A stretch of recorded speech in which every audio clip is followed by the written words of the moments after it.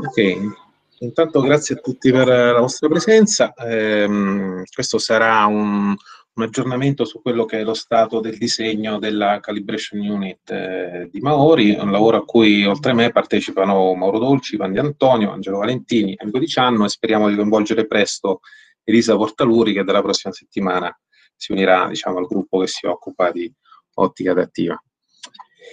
Allora, velocemente eh, un sommario di quello che, che, vedremo, un breve riepilogo dei, eh, sui principi di ottica adattiva, in particolare eh, eh sulla, sui sistemi multiconiugati, eh, dopodiché eh, un, una overview di quello che sarà, sarà il sistema Mikado Maori, i due strumenti previsti per la prima luce DLT, diciamo visti per come saranno eh, sulla piattaforma NASMIT del telescopio. E dopodiché vi mostrerò lo stato attuale del disegno optomeccanico della Calibration Unit, eh, alcune possibili opzioni per il disegno delle maschere per eh, le sorgenti laser e le sorgenti naturali che la Calibration Unit deve fornire, eh, una veloce panoramica su, sull'elettronica di controllo e poi quelli che saranno i prossimi eh, che sarà il prossimo lavoro in vista della preliminare design review con ESO che si terrà eh, tra gennaio e febbraio del, del prossimo anno. Ok, abbiamo già visto qualcosa la scorsa settimana con Mauro, eh, questa immagine è solo per farvi vedere che eh, diciamo, negli ultimi anni le tecniche relative all'ottica adattiva sono eh, sono in qualche modo esplose, ne esiste una, una grande varietà. Eh, esse si differenziano soprattutto per l'uso di stelle naturali o stelle laser o combinazioni di queste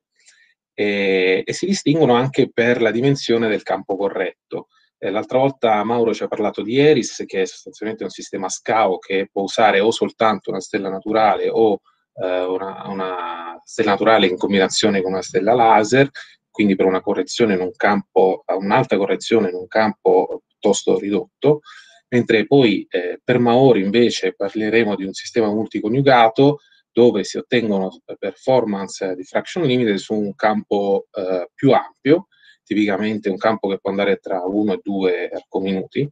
e poi esistono delle tecniche chiamate ground layer adaptive optics eh, che non permettono il raggiungimento di performance eh, di fraction limited, sono sostanzialmente dei single enhancer, eh, però permettono di ampliare di avere un campo corretto fino a 7-8 arcominuti. Alcuni esempi sono, ad esempio, Argos eh, LBT, che utilizza eh, dei laser ad effetto relay, e, ehm, e eh, Galaxy, ad esempio, al BLT. Allora, brevemente eh, gli aspetti principali dei sistemi singoli coniugati li abbiamo già visti la settimana scorsa. Comunque, una delle principali limitazioni è la dimensione dell'angolo isoplanatico, cioè eh, l'angolo all'interno del quale la correzione interattiva è, è, è veramente efficace. Quando osserviamo un oggetto scientifico fuori asse, eh, la, la, porzione di atmosfera che viene attraversata da, dal, dal, beam non corrisponde esattamente a quella che viene vista dal sensore, eh, dal sensore del sistema adattivo, per cui le correzioni non sono ottimali e, e rimangono delle aberrazioni.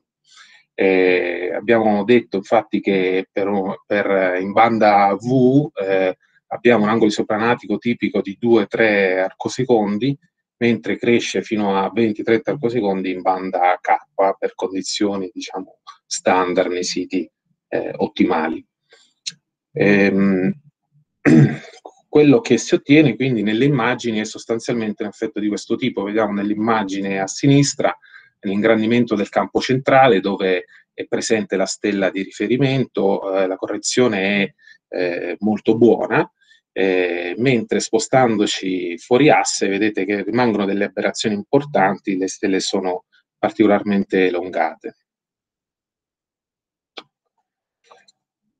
Un altro problema uh, dell'uso delle stelle naturali è lo sky coverage, non è sempre possibile avere una stella naturale esattamente nelle vicinanze entro uh, l'angolo sopranatico di un, uh, nelle vicinanze di un, di un target scientifico. Eh, quindi utilizzando delle stelle laser è possibile eh, avere una stella artificiale da utilizzare come reference. Questo ha delle limitazioni, in particolare il cone effect, cioè il fatto che comunque, data la limitazione in altezza del, della stella laser, non tutta la turbolenza atmosferica viene correttamente campionata. Abbiamo aberrazioni di bassi ordini presenti nel, nel sensing eh, del laser perché lo strato risonante diciamo, di solito atmosferico comunque varia in altezza, in dimensione e, e in densità. Eh, e poi abbiamo un'indeterminazione del tip tilt eh, reale atmosferico perché il beam laser è proiettato in cielo attraversa due volte l'atmosfera e, e, quindi vengono cancellate le informazioni necessarie alla correzione del, del reale tip tilt. Per, per, aumentare lo sky coverage si può eh, utilizzare come in Eris, come abbiamo visto la scorsa settimana, una combinazione di stella laser per correggere alti ordini queste frequenze spaziali e temporali, eh, unitamente a una stella naturale per correggere i bassi e medi ordini. Questi sono sistemi molto più complessi, però garantiscono delle performance abbastanza buone, eh, soprattutto costanti in uno sky coverage molto più ampio. Passiamo quindi ai sistemi multiconiugati. Eh, diciamo che l'ottica adattiva nasce, i primi articoli nascono intorno agli anni 50-60 eh, per sistema, per il, la prima idea per un sistema multiconiugato bisogna aspettare gli anni 80. Pegers per primo ha proposto l'uso di stelle sia naturali che laser per eh, risolvere il problema dell'anisoplatismo, quindi aumentare la dimensione del campo corretto e superare il problema dello scale coverage. Questo utilizzando quindi più stelle, più sensori di fronte d'onda e più deformabili contemporaneamente. Eh, ogni deformabile deve essere coniugato a un particolare strato di turbolenza atmosferica e almeno uno di questi deve, deve, essere coniugato allo strato più basso, al cosiddetto ground layer, dove si trova la maggior parte della turbolenza atmosferica. Eh, pochi anni dopo sono usciti i primi articoli che eh, proponevano diciamo, dei metodi matematici per quella, che la, per quella che viene chiamata ricostruzione tomografica, ossia la mappa tridimensionale delle aberrazioni lungo tutta la colonna atmosferica. in un sistema molto, ne esistono diciamo anche qui diversi, diversi tipi, però diciamo in un sistema classico chiamato star oriented eh, la, la, correzione viene ottimizzata in direzione delle stelle di riferimento, per cui anche nel, diciamo, eh, considerando il campo corretto non è esattamente omogenea in tutto, in tutto il campo. Questo dà luogo a dei problemi di ricostruzione della PSF e di distorsione di campo, eh, che sono oggetto, ad esempio, per eh, Maori de, del lavoro dell'Instrument Science Work Package, in cui lavorano anche Michele e Elisa.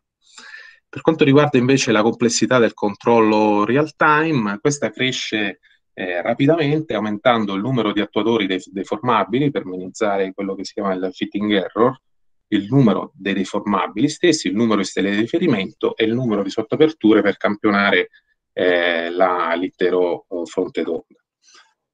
Eh, attualmente l'unico sistema MCAO funzionante è, è il GEMS al Gemini South. Eh, utilizza 5 stelle laser, 3 stelle naturali, 2 deformabili ed è attivo dal 2011, sebbene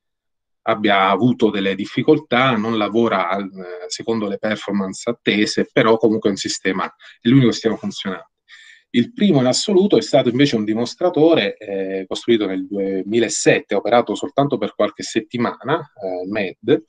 eh, e eh, una, con una forte partecipazione italiana, soprattutto padovana, anche qui il gruppo di, di ragazzoni, e, e, ha dimostrato la validità delle tecniche, per, per, la prima volta la validità delle tecniche multiconiugate, tanto che ad oggi è, è spesso nominato a dimostrazione della validità uh, dei sistemi NCO. Ok, adesso dopo questo piccolo diciamo, excursus eh, vediamo un attimo uh, il progetto Maori. Eh, qui ho messo un'immagine, vedete ci sono i otto lanciatori laser, attualmente la baseline è per sei lanciatori laser, ma diciamo, è in discussione la possibilità di averne effettivamente 8. Mentre nell'immagine a destra eh, vi ho messo una, una, rappresentazione di LT dove sulla piattaforma Nasmit è collocata un'intera unità BLT, giusto per rendervi conto delle dimensioni, ma conoscete già eh, di cosa si tratta. E Maori è un progetto capeggiato dall'INAF, dove l'istituto leader è Bologna, a cui partecipano poi il nostro istituto, Arcetri, Brera, Capodimonte e Padova. L'IPAG di Grenoble si occupa dello sviluppo del sistema dei sensori laser, mentre da circa un anno è entrato nel consorzio, è entrata all'Università di Galway con un gruppo che eh, si occupa della test unit, un'unità che poi vedremo avrà a che fare eh, diciamo, principalmente con la calibration unit. La prima luce di Maori è, è prevista eh, insieme a Mikado all'incirca nel 2025, speriamo. Mikado, sapete, è una collaborazione tra istituti Max Planck eh, tedeschi, eh, Università di Monaco, sono alcuni istituti francesi e l'INAF è sostanzialmente un imager tra 1 e 2.5 micron, ha un campo um, che sfrutta la correzione di Maori multiconiugata di 50 x 50 arcosecondi con una pixel size 4.5, ma anche una modalità SCA, un campo più ridotto una pix pixel size eh, più, più piccola. Anche delle capacità spettroscopiche e eh, comunque il goal che Maori insieme a Mikado eh, eh, dovranno raggiungere è quella di fornire uno stress ratio in K dell'ordine del 50% con uno sky coverage anch'esso dell'ordine del 50% tutto il cielo. Altri requisiti abbastanza stringenti sono quelli sull'accuracy astrometrica. Eh, Maori dovrà permettere di eh, ricavare le posizioni eh, degli oggetti in cielo, stelle in cielo, um, con un goal di 10 microarcosecondi è in, una, in un arco temporale che va da un'ora ai cinque anni per la riproducibilità. Eh, similmente per l'accuratezza fotometrica il goal è di un centesimo di magnitudine eh, sull'intero, per la riproducibilità sull'intero campo di vista eh, con un timescale che va da un'ora a cinque anni. Ah, per far questo Maori dovrà utilizzare numerosi sensori e eh,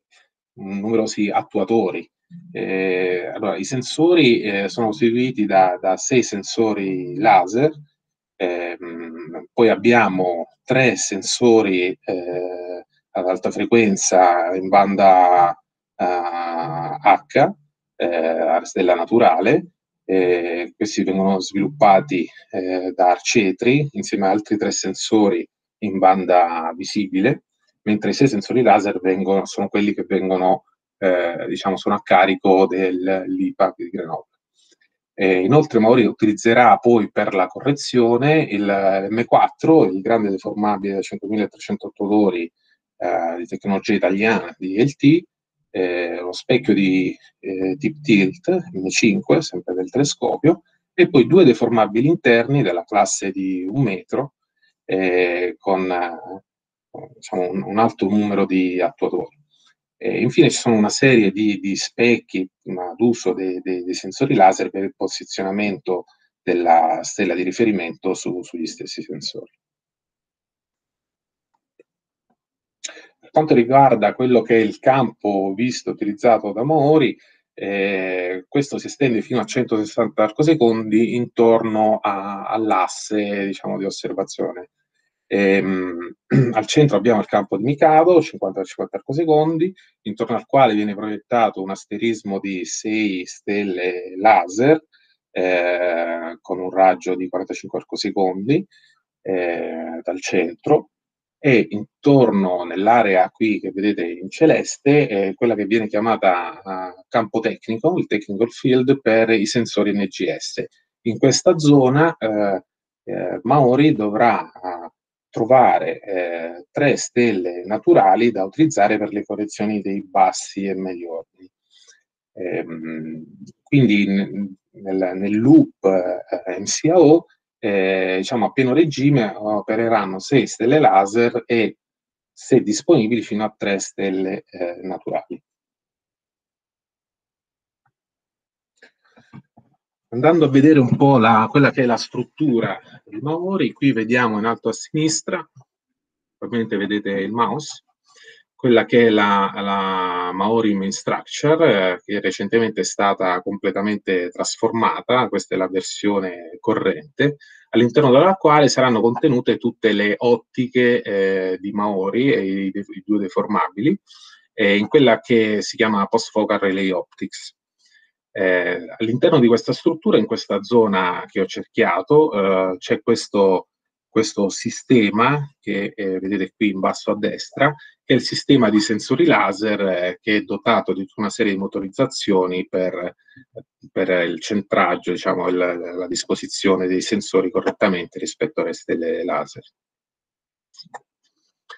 La struttura che vedete qui a sinistra è quella che si chiama Torre di Mikado, chiamiamo diciamo, normalmente. Eh, qui la vedete in alto a destra, ehm,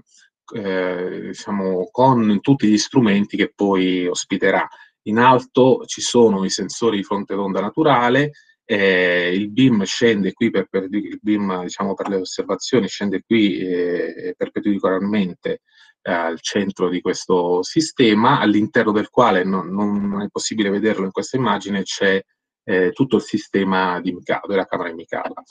Eh, al di sotto di questa, di questa torre c'è una piattaforma corrotante che contiene tutta l'elettronica di Mikado, i sistemi di controllo sia per, appunto, per Mikado che per i sensori eh, stella naturale di Maori.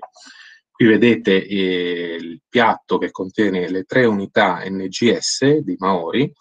eh, che dispongono, uh, vediamo qui in basso a sinistra, degli specchietti di pick-off che vanno a selezionare intorno all'area di Mikado le, le stelle naturali. Eh, diciamo, fino a qualche tempo fa abbiamo lavorato al sistema di controllo dell'elettronica dei, dei sensori laser, insomma, apportando un, un bel contributo. Poi diciamo, siamo spostati a, sul work package della calibration unit, insomma, e eh, abbiamo dovuto lasciare questo lavoro. E, ecco, per quanto riguarda invece la calibration unit, eh, la, collocazione dell'unità sarà eh, diciamo, sotto quello che vedete qui a destra cerchiato di, di, di bianco, questa slitta eh, con binari rossi, eh, quella si chiama il CU Selector, è una movimentazione che permette di selezionare il beam che proviene dalla calibration unit di Maori e viene poi iniettato all'interno della post-focal relay optics, dove vedete il fascio verde, o uh, al contrario lasciar uh, passare il fascio proveniente dal telescopio, qui nell'area in alto marrone chiaro c'è la prefocal station dove c'è il fuoco Nasmith sostanzialmente, oppure selezionare questa gialla che è l'unità, la calibration unit di Mikado. Eh, il, il, fascio ottico si propaga poi all'interno di Maori e viene inviato qui nella torre di Mikado, quindi per l'utilizzo con i sensori naturali e Mikado stessa, mentre il fascio rosso che vedete qui è eh, diciamo quella che viene chiamata la second port di Maori, eh, perché è previsto un, un secondo strumento eh, che, che eh, sfrutterà la correzione attiva di Maori per una prossima generazione, qui nel volume blu che vedete qui a fianco alla, alla main structure. Ok, riguardo alla calibration unit, cosa, a cosa servirà? Eh, servirà principalmente per fare tutta una serie di verifiche e test di funzionalità, eh, verifiche sulla trasmissione del sistema ottico, sulla qualità, sulla presenza di vibrazioni,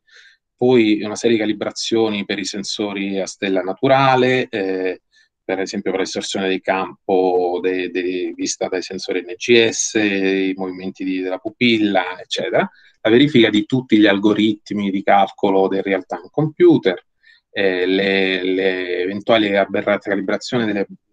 delle non common path aberration tra Maori e Mikado,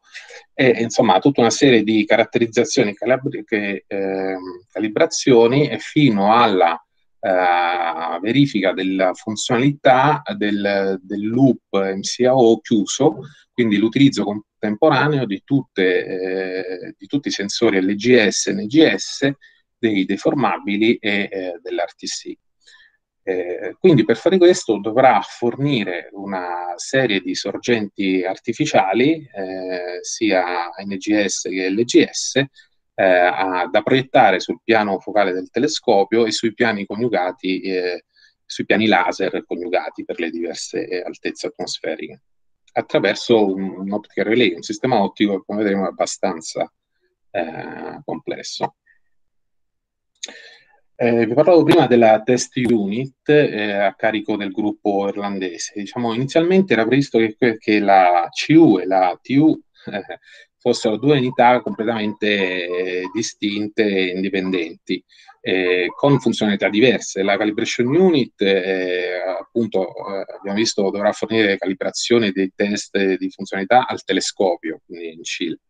mentre la, la test unit è, è, prevista, è previsto l'utilizzo soltanto durante la fase di assembly integration verification, cioè eh, in Italia, a Bologna, nell'integration hall per verificare effettivamente il raggiungimento delle performance prima della spedizione eh, in Cile. E comunque eh, questi due sistemi hanno delle, delle Monaldis hanno insomma, dei requisiti molto simili, entrambe devono disporre di un sistema ottico eh, diciamo, importante per proiettare le sorgenti eh, sui, piani, eh, sui piani focali.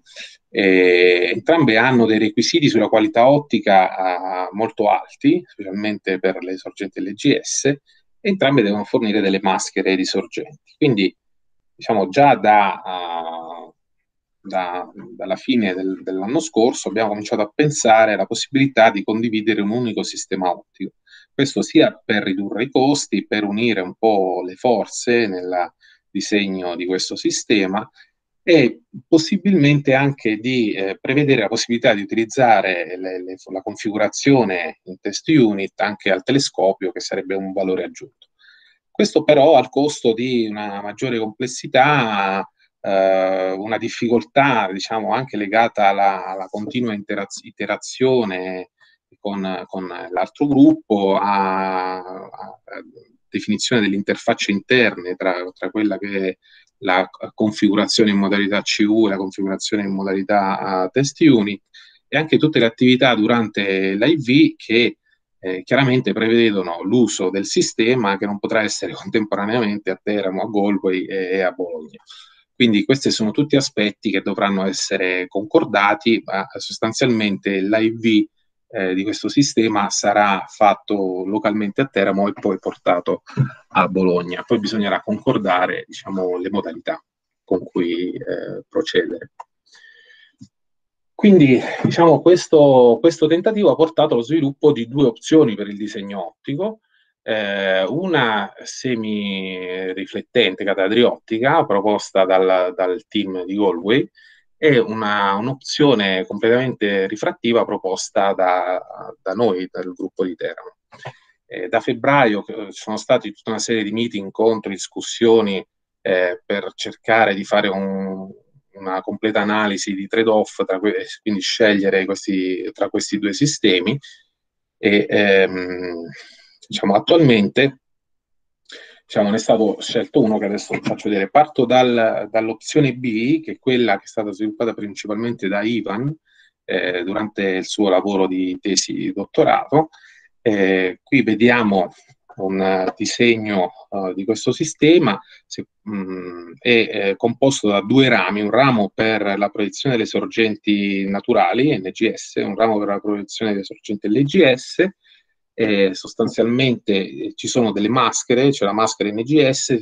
che attraverso un gruppo, eh, diciamo il BIM parte da questa, da questa maschera, attraverso un gruppo di ottiche di, insomma, di una certa dimensione, eh, forma una pupilla che è condivisa mh, dal ramo LGS che viene iniettato attraverso un BIM splitter eh, nel, nello stesso fascio. Dopodiché c'è un altro gruppo di ottiche che eh, invia, proietta il fascio verso l'ottica L1, che è quella diciamo, di dimensioni più importanti, circa 600 mm di diametro, che poi corregge l'F number per, eh, diciamo, per il corrispondente F number del, del telescopio.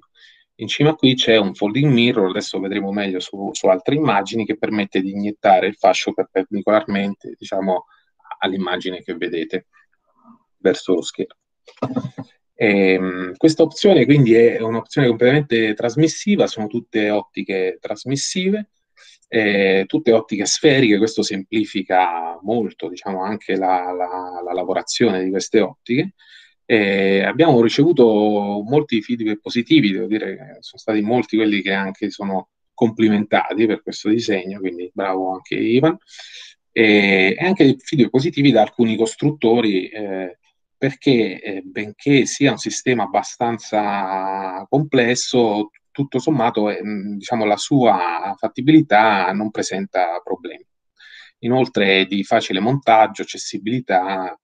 eccetera. Eh, messo all'interno della main structure, qui vedete il selettore eh, di, eh, il SU selector, questo binario rosso, eh, il folding mirror di cui vi parlavo prima, che inietta diciamo, perpendicolarmente diciamo, eh, il, il, il, fascio all'interno della Maori Post Focal Relay Optics, e, mentre le maschere NGS e LGS sono poste qui in basso, quindi questo sistema è diciamo L, eh, ha lo svantaggio, se volete, che sia abbastanza lungo, eh, quindi con un certo volume, e di avere quest'ottica eh, diciamo, abbastanza lontana dal, dall'altro asse perpendicolare quindi diciamo, può presentare qualche difficoltà per l'allineamento di quell'ottica grande e per la realizzazione di una struttura eh, diciamo, rigida che contenga tutte queste ottiche. Però diciamo, è comunque un sistema valido, eh, un'alternativa ancora valida. L'altro sistema, quello proposto da, da, Galway, è un sistema appunto quadradriottico e eh, più complesso, presenta anche delle ottiche di dimensione maggiore, eh, dovendo eh, diciamo, rispettare requisiti molto stretti sulla qualità ottica, eh, la dimensione, la stessa qualità di questi, di questi, componenti sono aspetti critici di cui dobbiamo tener conto. Rimangono ancora dei punti da chiarire riguardo ai possibili effetti di ghosting e di luce polarizzata, sono attualmente argomento di discussione, ma in sostanza è eh, l'opzione che è stata in qualche modo preferita perché è più compatta, anche se pone dei problemi anche di accessibilità, eh, perché le maschere sono poste qui verso il basso, adesso farò vedere sulla struttura che cosa uh, vuol dire questo. Ecco, vedete, sulla struttura è, è chiaramente più compatta uh, questa opzione, ehm, vediamo meglio su quest'altra, questo in verde è il volume che ci è stato assegnato per, eh, per, per sviluppare la, la, calibration unit. E vedete che l'accessibilità alle maschere, si vede già da qui, ma lo vedremo meglio poi nel disegno meccanico, è molto limitata, considerando che intorno alla calibration unit questa struttura sarà tutta diciamo, ricoperta di pannelli per tenere eh, per isolare termicamente eh, la, la, tutte le ottiche del, della post-focal relay e, e quindi diciamo, l'accessibilità è molto ridotta. Eh, dall'altro lato, diciamo dal lato di chi guarda, eh, invece c'è la prefocal station e quindi anche da, da questo lato è, l'accesso è molto limitato. Quindi sostanzialmente si può accedere soltanto da sinistra e da destra per poter fare delle operazioni di maintenance o qualsiasi cosa, altrimenti bisogna smontare tutto, quindi con, con delle, una, un sistema di, di, di aggancio, quindi eh, sollevare tutto e tirare via da, dalla struttura l'intera unità per fare delle operazioni. Passando al disegno meccanico, questo è stato eh, sviluppato mm, molto recentemente, proprio negli ultimi giorni, una volta abbiamo un po' consolidato gli aspetti del disegno ottico, eh, principalmente da Angelo e anche da Ivan, e qui vedete ci sono due opzioni per questo disegno meccanico, una tra tralicci aperti che vedete a sinistra che permette una migliore accessibilità ai componenti interni e un'altra che noi chiamiamo a treno sulla destra eh, che utilizza delle superfici chiuse che l'idea di irrigidire il sistema e anche eh, diciamo, risparmiare eh, sulla massa, cosa che poi però eh, non risulta essere semplice. Qui abbiamo gli stessi vi eh, disegni visti con le ottiche in semi-trasparenza. E questi, questi, comunque disegni, il disegno meccanico poggia, vedete qui, su tre punti che sono i punti di interfaccia con la struttura meccanica. Sono tre punti cinematici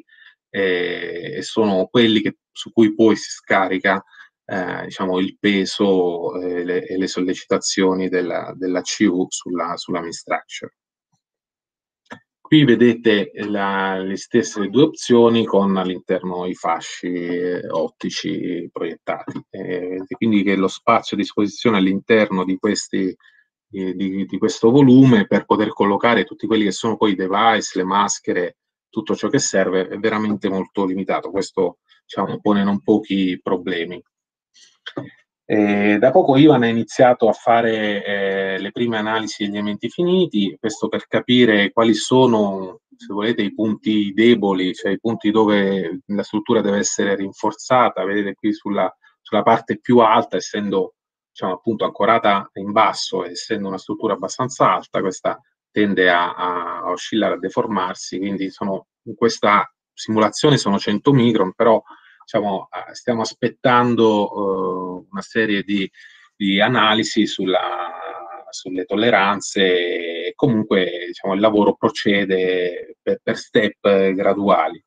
Eh, uno dei problemi principali, se non attualmente il principale, è che abbiamo a disposizione un budget di massa di circa 350 kg e attualmente, non avendo ancora disegnato tutto ciò che poi andrà nella, nella struttura, già, abbiamo già superato i 400 questo utilizzando sostanzialmente acciaio, che è lo stesso materiale utilizzato per il main bench, quindi per evitare eh, problemi con diver diversi coefficienti termici, ma eh, stiamo già pensando di, di, utilizzare altri materiali, l'alluminio è un problema perché è un CTE che è praticamente il doppio dell'acciaio, stiamo pensando alla fibra di carbonio, cosa abbastanza complessa, ma una soluzione potrebbe essere utilizzare il titanio. Adesso diciamo, stiamo documentando su queste, contattando le aziende su questa possibilità. Dunque, cosa dovrà fornire la calibration Dovrà fornire una serie di sorgenti, principalmente una griglia regolare di stelle, di, di stelle artificiali in banda R, eh, che sono sync limited sostanzialmente, una griglia di almeno 6x6 con un gol di 11x11, eh, uniformemente distribuita nel campo tecnico dei LOR, eh, con la possibilità di variare l'intensità delle sorgenti in un range che va tra 12 e 22 magnitudi. Eh, mentre dovrà fornire anche almeno due asterismi di tre stelle di fraction limited in banda H che devono essere molto vicine, cioè, insomma, una distanza interasse massima di 0,5 arcosecondi eh, alle eh, stelle di banda R. Questo pone non pochi problemi, come vedremo tra, tra poco anche nella, nella, soddisfazione di questo requisito. Ehm, inoltre dovrà fornire una griglia di 3x3 sorgenti in banda H nel campo di Mikado. E, e infine eh, tre asterismi di 6 stelle laser eh, poste a 45 arcosecondi dal, dal centro dell'asse ottico eh, per eh, diciamo, simulare eh, le, le, altezze, rispettive altezze tra 90 e 150 km. Ora in realtà la coniugazione 90 km è in discussione perché pone eh, delle difficoltà sul punto di vista della cioè una maggiore complessità sul disegno ottico e al momento diciamo eh, questo requisito è, sta, è, stato ci hanno in qualche modo eh, consentito di, di, di, non considerarlo perché non è strettamente necessario. E, mh, chiaramente queste, queste, stelle dovranno uh, avere una banda che è quella del, dell'emissione del Sole, quindi 589 nanometri. E dovremo, dovremo prevedere anche di fornire asterismi di 8 LGS nel caso in cui il ILT fosse dato di 8 lanciatori. Eh, una funzionalità molto importante sarà quella di utilizzare eh, tutte le stelle nel capo di Mikado, eh, tre NGS, tre coppie NGS per volta e le 6 LGS contemporaneamente. Questo è eh, il requisito che principalmente rende molto complesso e challenging, eh, vogliamo, il disegno ottico della calibration unit. Abbiamo cominciato a disegnare le, le maschere, qui vedete i, i, i, cerchi colorati che definiscono sorgenti per coniugate le diverse altezze. Eh, a ogni altezza corrisponde una rotazione di questo asterismo, a sinistra uno sketch per eh, tre asterismi e 16 sorgenti e a destra per 8, 8 sorgenti.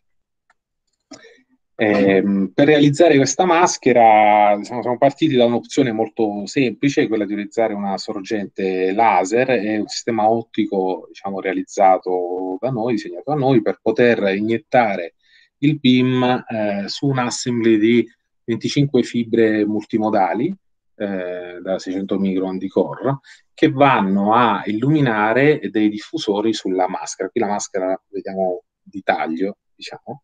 eh, a ogni fibra corrisponde davanti un diffusore. Questa è una tecnica che abbiamo già usato per Eris, non presenta particolari difficoltà, ma potrebbe eh,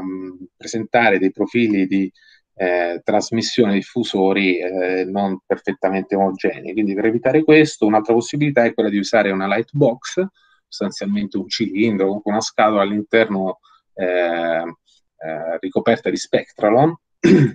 eh, in modo da uniformare l'illuminazione sui, sui diffusori. Un'ultima possibilità è quella invece di posizionare una serie di LED a banda stretta che emettono esattamente diciamo, le frequenze di cui abbiamo bisogno e, eh, e questo migliorerebbe anche la, la availability del sistema che è un requisito non da poco visto il costo orario diciamo, delle operazioni di maintenance eh, su ILT. Quindi eh, questa è una uh, opzione, diciamo, tra quelle preferibili. Per quanto riguarda invece la maschera NGS, siamo partiti dal, dalla griglia richiesta sul campo di Mikado, quindi utilizzando un, un pitch di 16.3 arcosecondi e questo ci ha permesso di definire una griglia su tutto il campo tecnico di 7x7 sorgenti a cui possiamo aggiungere altri gruppi per campionare completamente l'intero campo.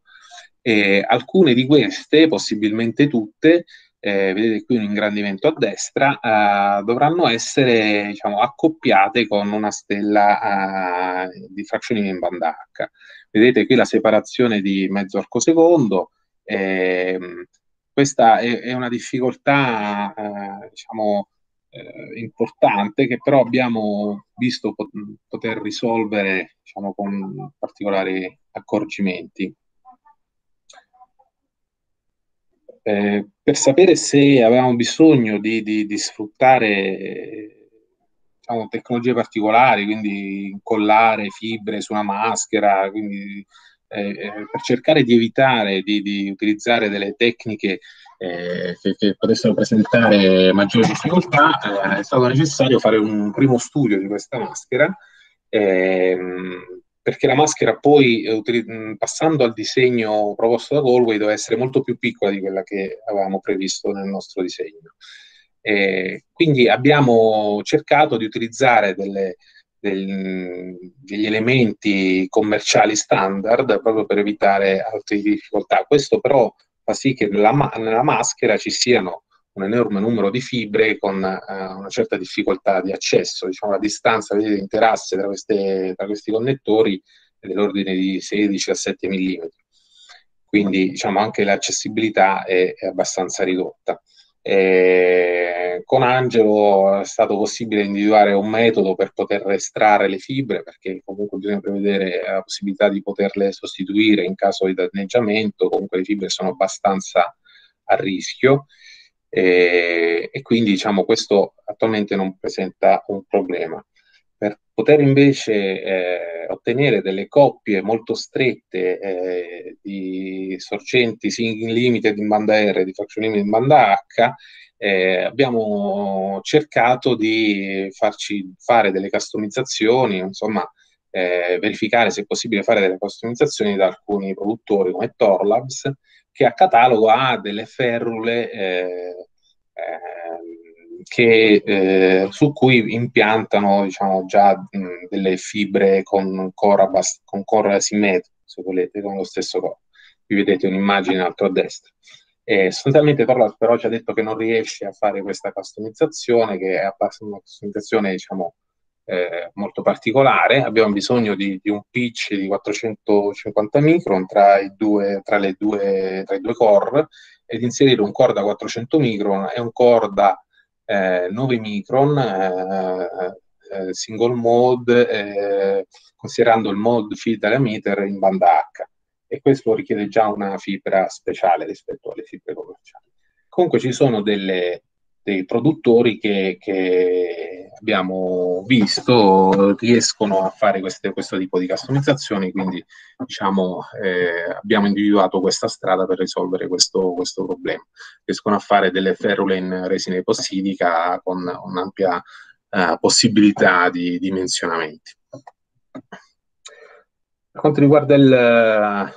quello che è la, l'alimentazione di queste, di queste, illuminazioni delle sorgenti, eh, dovremo utilizzare delle sorgenti broadband in modo da coprire l'intervallo tra RH e ne abbiamo già individuate già alcune e l'idea è quella di utilizzare eh, un collimatore e poter dividere poi con un, un dicroico il fascio eh, in due diciamo in due parti, una parte per lunghezze d'onda maggiori di un micron, una parte per lunghezze d'onda minori di un micron e eh, abbiamo quindi che per le, le, reference possiamo utilizzare un sistema, quindi la, il ramo blu se volete, un sistema di, eh, di, di iniezione su un, un assembly di, di 61 fibre multimodali eh, che poi andranno eh, diciamo, a, a illuminare le sorgenti sulla maschera, mentre sul ramo eh, delle sorgenti H di Fraction Limited possiamo utilizzare più beam splitter per ricavare più gruppi eh, che andranno poi a formare le sorgenti di Fraction Limited sulla maschera. Per alcune di queste l'idea è quella di utilizzare la, lo stesso connettore, la stessa ferrula, in modo da avere le coppie molto strette, eh, alcuni sterismi di coppie molto strette. Eh, questa soluzione per me è, è, scalabile, cioè si può aumentare facilmente il numero e le, le combinazioni diciamo, di, di, di, fibre eh, e permette anche di introdurre dei filtri neutri motorizzati tra i collimatori e, e i beam splitter in modo da creare dei gruppi eh, di, di sorgenti di cui si può selezionare la luminosità nel caso questo requisito fosse eh, confermato. Qui vedete un, uno sketch della possibilità di poter dividere fisicamente il sistema, la catena di trasmissione, perché potrebbero esserci dei problemi nel caso del, delle fibre, degli assembly e de, dei bundles di fibre eh, sulla loro lunghezza. Eh, per eh, fibre lunghe potrebbero esserci problemi sulla focal ratio degradation eh, e quindi sulla eh, se vogliamo, uniformità di illuminazione della pupilla, che qui abbiamo un requisito abbastanza stretto, e, e, quindi abbiamo previsto di poter inserire la parte qui a destra direttamente in prossimità della maschera. Questo è un ulteriore problema perché vorrebbe dire mettere utilizzare, eh, aver bisogno di un certo volume all'interno di quello spazio che avete già visto essere abbastanza ristretto eh, ma comunque abbiamo bisogno di fare la prototipazione per capire se può essere veramente un problema, altrimenti se nel caso, in caso negativo, che non, fosse un problema, potremmo mettere tutto, tutto il sistema all'interno del cabinet di controllo. Questo è un primo disegno ancora incompleto, Ivan ha cominciato a lavorarci proprio negli ultimi giorni di, di, di primo segno CAD eh, di una parte di questo sistema. Insomma. Un'altra possibilità è quella di utilizzare delle sfere integratrici, questo semplifica di molto eh, il, la catena di trasmissione nel caso eh, non fosse necessario creare dei gruppi di eh, magnitudine diversa. è possibile scalare e aumentare il numero di fibre, ma diciamo con, con appunto la la limitazione di illuminarle tutte, tutte insieme contemporaneamente. È comunque un'opzione sul tavolo nel caso non fosse necessario eh, diciamo, suddividere in gruppi eh, le sorgenti sulle maschere. Qui di nuovo è la separazione tra quella che chiamiamo il Human Bench, quindi il volume principale sulla main structure e il cabinet. e di nuovo un primo uh, CAD di, di, di questo sistema. Le sorgenti che abbiamo individuato sono quelle standard utilizzate già al VLT, abbiamo utilizzato anche per Eris, ne esistono di diverse potenze. La caratteristica di queste, che si chiamano laser driven light source, è quella di fornire un, uno spettro sostanzialmente piatto eh, su un range di lunghezza di onda molto ampio, va dai 400 nanometri a 2 micron e 2 eh, nel caso non fossero sufficienti, perché comunque il disegno catadriottico ha veramente un basso throughput rispetto a quello trasmissivo proposto da noi, e anche perché poi con lo splitting sulle fibre diciamo, cioè, cioè, si perde molto flusso. Eh, comunque, se fosse necessario, potremmo usare delle lampade super continuum che hanno uno spettro molto diciamo, frastagliato, ma diciamo, non, non è un problema e, e, più che altro capire se sono strumenti adatti a lavorare eh, diciamo nelle condizioni previste per ILT. Ecco. Mentre le altre ta- lampade sono state già testate e verificate da molti anni eh, al Paranal. Per le lampade laser non ci sono problemi, abbiamo uh, una varietà di possibilità da cui attingere già sul mercato, quindi abbiamo già investigato possibili candidati. Per quanto riguarda invece il sistema di controllo elettronico, questo sarà uh, completamente eh, eh, collocato all'interno di un cabinet, un cabinet standard di quelli eh, utilizzati nei progetti ESO, di dimensioni abbastanza importanti perché insomma, può essere alto fino a 2,2 metri e pesare fino a 250 kg, e all'interno del quale viene eh, messo un sistema di controllo di raffreddamento, un cabine raffreddato a liquido proprio per evitare che ci siano uh, problemi di dissipazione termica nei pressi del, dello strumento, e una serie di power supply per motori e per stesso, lo stesso sistema di controllo. E poi qui abbiamo previsto un rack con sistema PLC e tutta una serie di I.O. analogico-digitali per il controllo dei, dei vari device. Una, uh, una,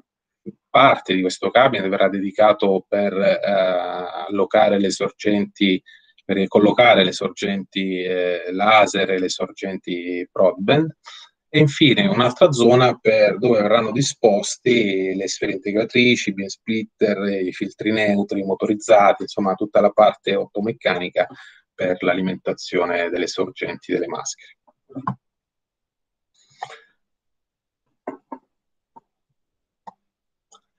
Ecco, questa è, un, un'immagine della piattaforma Nasmit, eh, giusto per farvi vedere dove sono collocati i sistemi di controllo, i cabinet di Maori. Il cabinet delle calibration unit è sostanzialmente vicino alle calibration unit, però diciamo, anche questa vicinanza eh,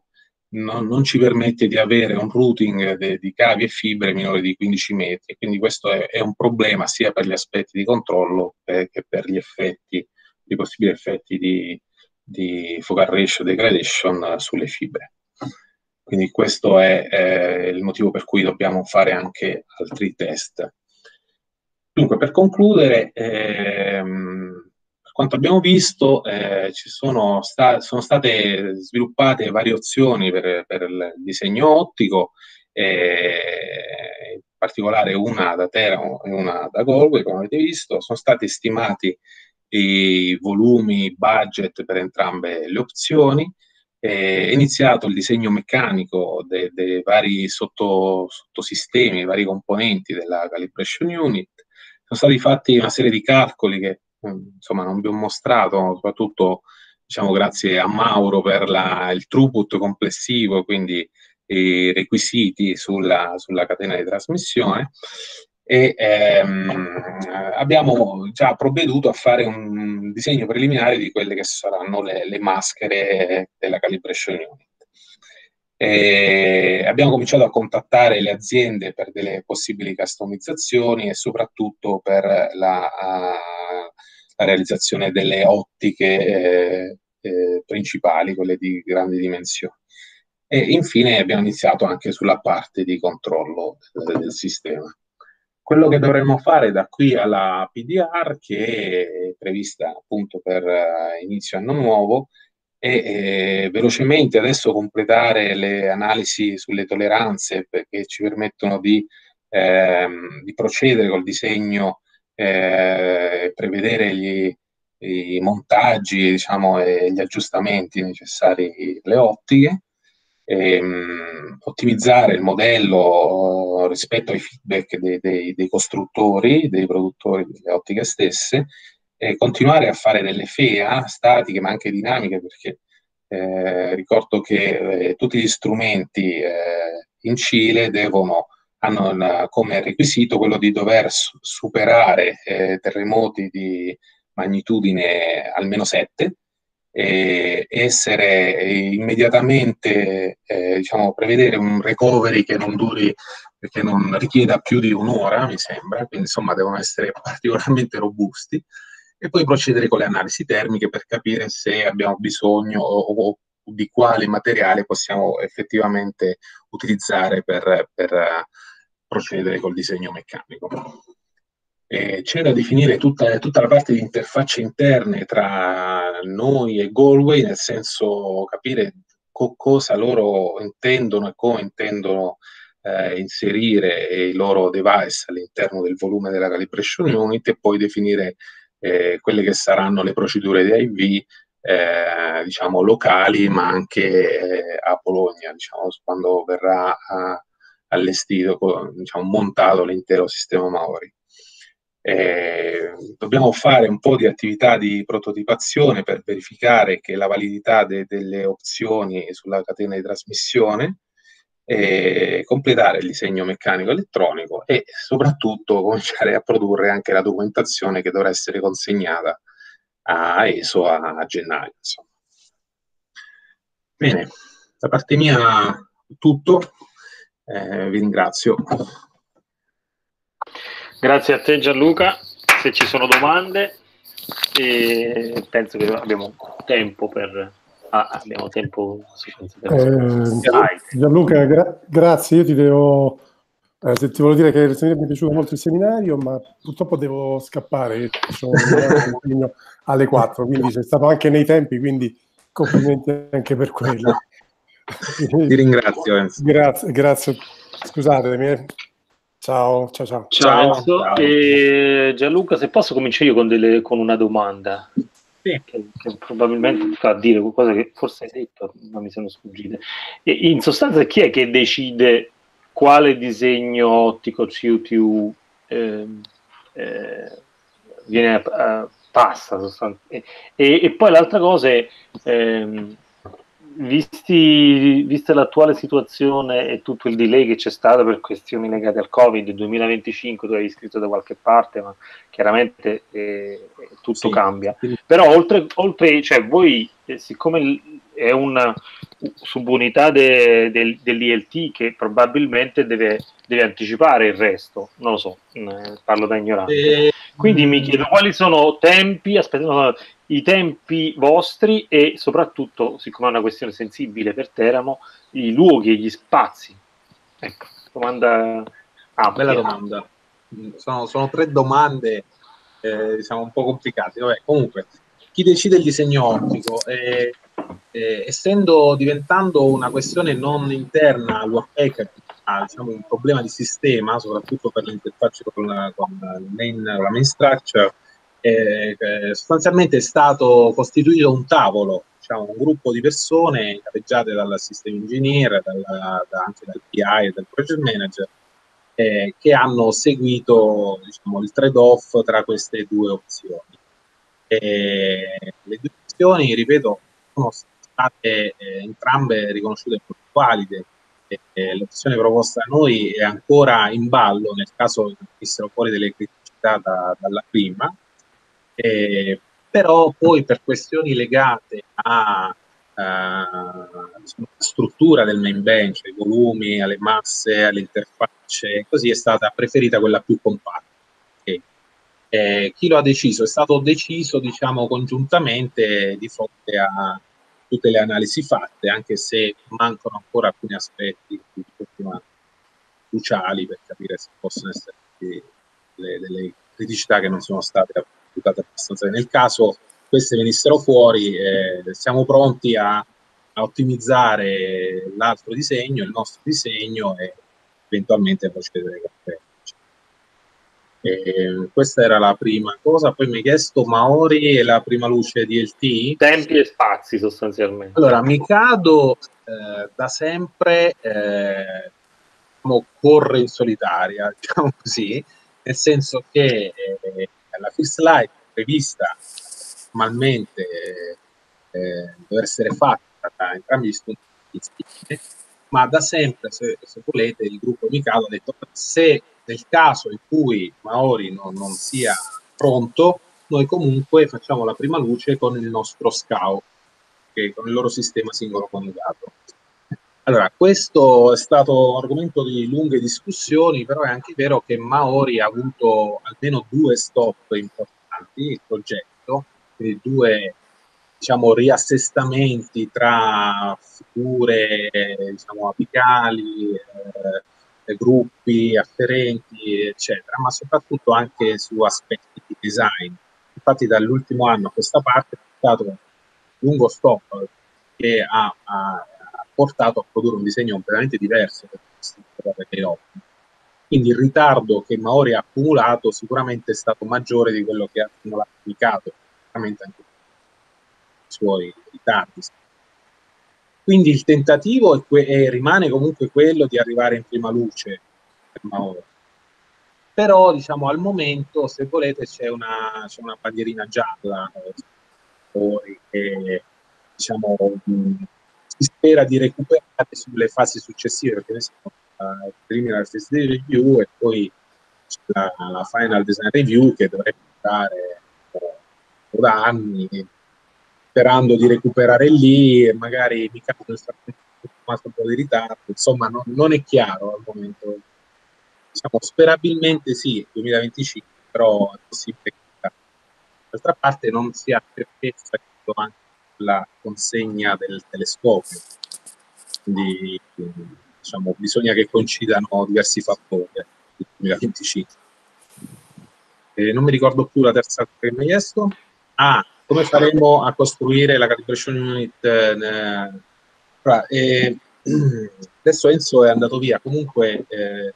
diciamo, stiamo già muovendo uh, per cercare di uh, individuare degli spazi nuovi eh, in laboratorio, perché i nostri laboratori sapete negli ultimi anni, eccetera Gianluca, scusa, io ti sento male, non so gli altri, ma io ti sento male. E... Sì, sì, anch'io. Sì, sì, si sente a tratti. Ma vai bene. E interrompo la condivisione allora, magari migliora. Mm.